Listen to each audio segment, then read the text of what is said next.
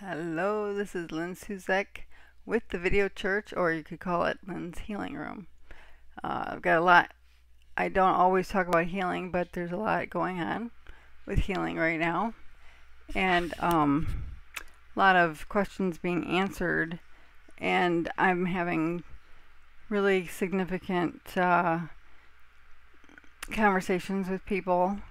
Um, and as I talk, I minister to others and myself because, you know, when we start talking about this stuff, um, the Holy Spirit's flowing, and, you know, stuff is just like, oh, that's good, you know, even though you're the one saying it, the Holy Spirit could be speaking. So I do want to talk about how, um, for instance, somebody that I was talking to is dealing with symptoms. Okay, we're going to call them fake symptoms. Um, things that have been coming upon her due to, I would say, an expectation eh, subconsciously when a couple people in her family, including her father, have had Lou Gehrig's disease. So she's been subconsciously expecting it could happen to her. So as soon as something hits, um, you know, that's what everybody thinks. The doctors are only testing her for that, whatever.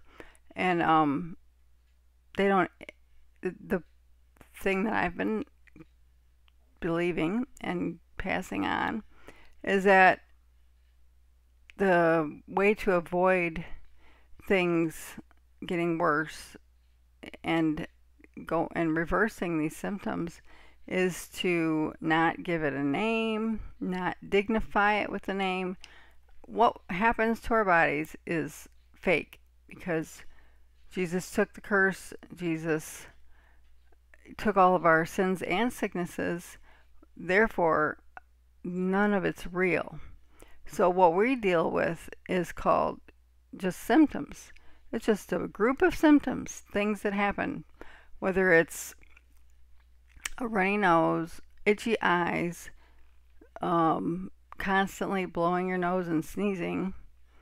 We have a name for that. Is it allergies or was it a cold? Um, if you have weakness in a leg or a limb, or uh, even up to paralysis in one of those, we want to find a name for it. But I'm telling you, don't give it a name just call the symptoms, you know, wrong. You're not real, and speak to your body based on 1 Peter 2:24 by his stripes I we were healed. So you don't even this isn't even real. And that is how I have seen things go back, you know, reverse right away. And the things that have that we're not seeing change for yet, you need to keep not giving it ground by um, the more that we don't give it validation, the less we give it validation, the better.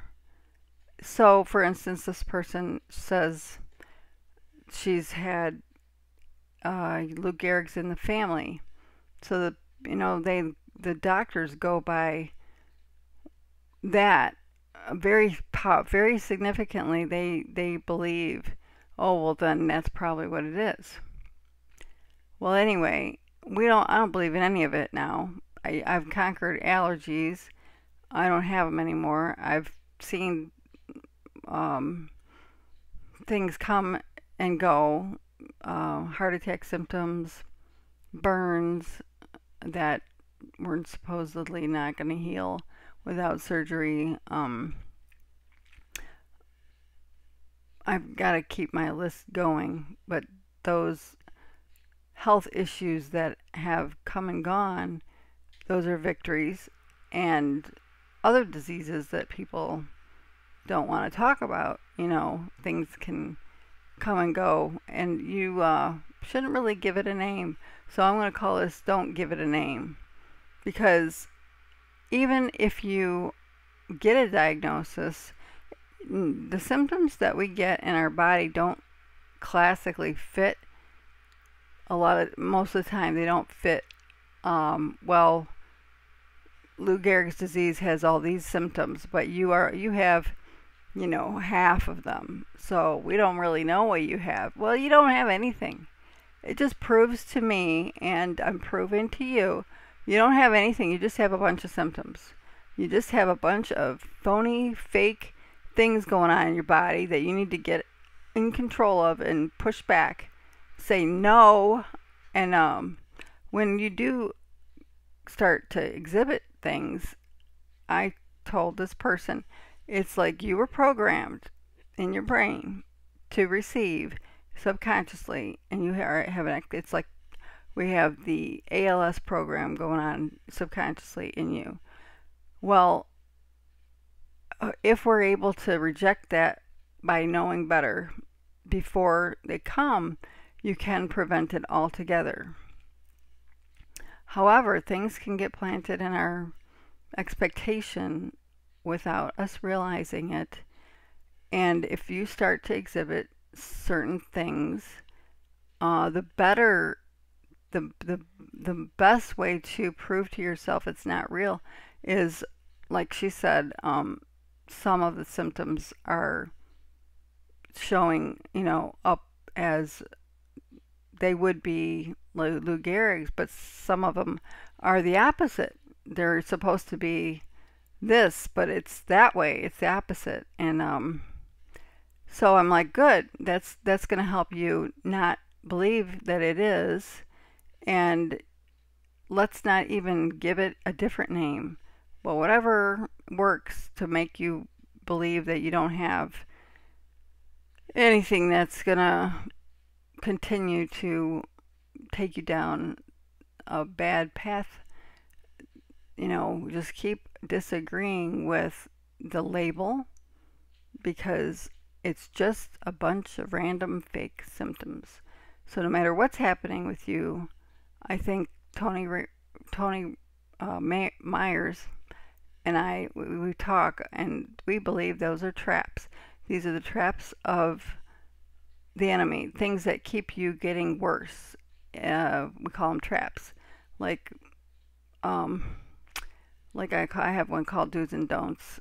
Don't look it up. Don't, you know, plant seeds of expectation for a certain disease in you. And don't believe that you have to keep it. Don't believe that it's permanent. It's going back, it's going to go back. And until you get to a point where you don't want to get well, that's when it usually stops. I have a family member that got um, started to get paralyzed, and um, it's my mother. Uh, she I my belief in what happened is she got to a vulnerable state in her life after my dad passed away. She did a lot of meditating on, you know, worry and uh, fear, and um, she began to develop some paralysis in her body. And I believe that everything can be obviously avoided and it can be things can be contagious no matter what it is. Even though I, what I what what happened to me was uh, an injury, you know, spinal cord injury. But she has been watching and thinking and you know meditating on the paralysis that I go through for so long. I believe that's what you know, kind of. It's like it, it's like not not typically contagious, of course, for that to happen to somebody else in the family. But you know, both of us got paralyzed it's really stupid. And um, she, as soon as it started happening, I mean, she doesn't believe as strongly in healing as I do because some people believe that God just is or isn't going to heal you. Well, I no longer believe it that way. I believe God wants everyone well. So I started praying over, going, "Mom, it's not going to stay. This is this is going back," and it was very overwhelming. The doctors thought she said she had like a tumor on her spine causing this paralysis. That's what they found. Uh, whatever the reason, it they thought she was going to get worse and get completely paralyzed. And I'm like, no. And she, you know, was receptive to prayer. we started seeing things reverse. The paralysis started going away. So there's movement and um, sensation and ability to stand. Um, however, at a certain point, I don't think she wanted to get completely well because she wants the the company of the caregivers. Whatever the reason, she got unparalyzed and she's still very weak and you know using a wheelchair. Um, these are all the different things that you can learn about healing and how to cooperate with the fact that we are already well. So if you've got paralysis, you've got um, weakness in a limb, if you've got uh, pain or anything, keep it at the symptom level. Don't give it a name. I know doctor if you feel the need to go to a doctor to try to get things reversed, if you got to get them to believe that you don't have whatever it is they're going to come up with and that you, you know, it's like how many doctors are going to agree that it's not that, it's this because that's going to be easier for you to reject. I, I don't know, but uh, it's a uh, the more we convince ourselves of the truth that these things don't really exist and they're just symptoms that can be reversed, that your body is just on this program and you need to reject it and you'll see things change.